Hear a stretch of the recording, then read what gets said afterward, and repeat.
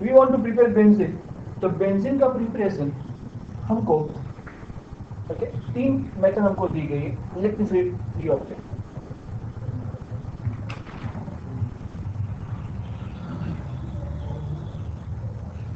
the first method अगर आपके पास बेंजोइक एसिड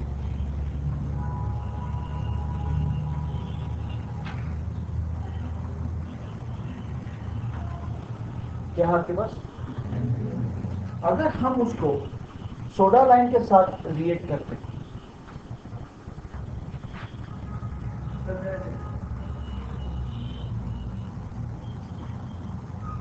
सोडा लाइन होता है CaO plus NaOH minus H two हो जाएगा। माइनस एच टू हो जाएगा। और आपको जो पहला कंपाउंड मिलेगा वो इस तरीके से मिलेगा। यहाँ से सीओ एच में से ये एच निकल जाएगा और वहाँ पे C double O N A sodium. Sodium benzoate मिलने वाला है। क्या मिलने वाला? बराबर after getting sodium benzoate okay अगर फर्दर हम उसको सोडा लाइन के साथ जब हम मीट करते क्या करेंगे उसको? सोडा लाइन के साथ हीट करेंगे। तो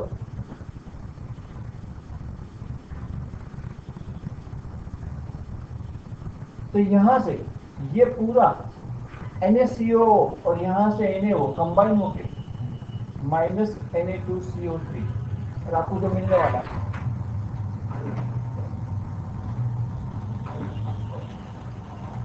बेंजीन क्या मिलेगा? ये पहला तरीका। सेकंड तरीका जो हमारे पास वो इस तरीके से। अगर आपके पास फिनोल है, क्या है?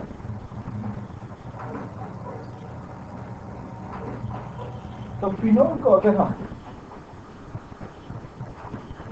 हीट करेंगे जिंक के साथ।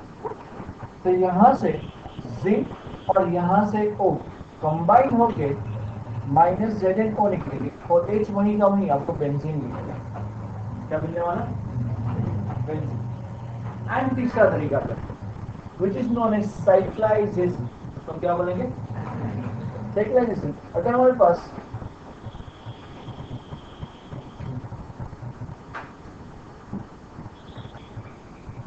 इथाइन है। ये देखो मैं इथाइन को किस तरीके से लिख रहा हूँ।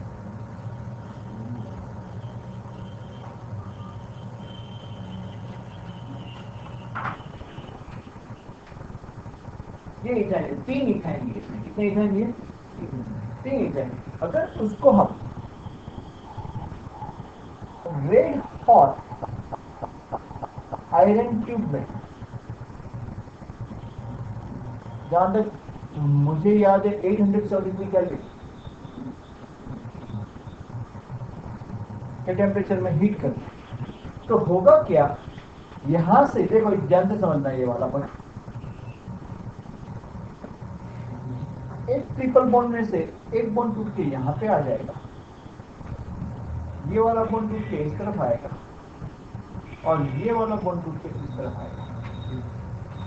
और उसकी वजह से आपको जो स्ट्रक्चर मिलने वाला वो ऐसा मिलेगा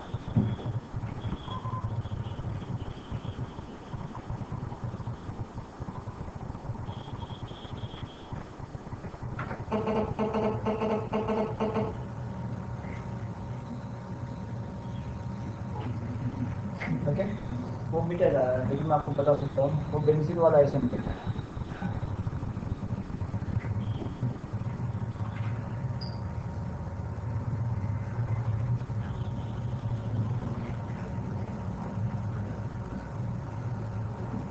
Can you see? ये बॉन्ड टूटने की वजह से and that is what that's benzene आपको ये बेंजीन मिल रहा है आर यू फॉलोइंग दिस आपको समझ में आ रहा है कि नहीं आ So these are the three methods for the preparation of benzene.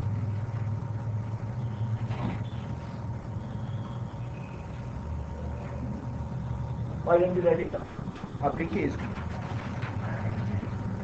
फटाफट लिखिए